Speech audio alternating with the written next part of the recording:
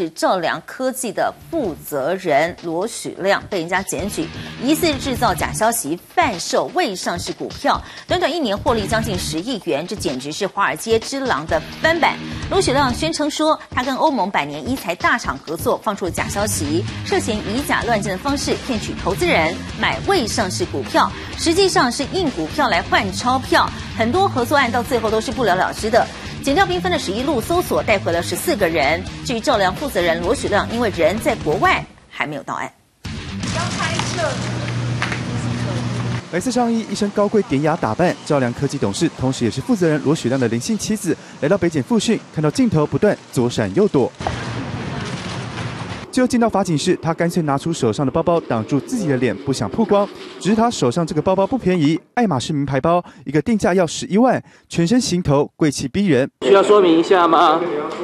检方讯后，林姓妻子获得十五万交保，而包括赵良金主、业务员在内，分别获得三万到三十万交保。减掉二十二号大动作搜索，位在桃园龙潭的赵良科技公司，就是因为接获离职员工检举。怀疑赵良公司根本是没有厂房、设备、产品的空壳公司，而背后的负责人是他罗许亮。大家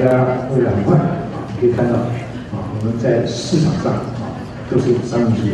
啊，所以我们交代我们股东千万啊这个守住啊。产品发表会上看好公司前景，编织美梦，实际上很可能都是骗局一场。罗雪亮自称和欧盟百年医材大厂合作，甚至还打算和北京军系医院洽谈签约，以此利用话术制造假消息来包装公司，宣称公司即将上柜，以每股六十五到六十七元贩售一千万股给投资人，半年后再度开放股东认购，以每股二十五元贩售一千三百三十七万股，加总获利约十亿，许多投资人被扒两层皮，过程宛如电影《华尔街之狼》的翻版。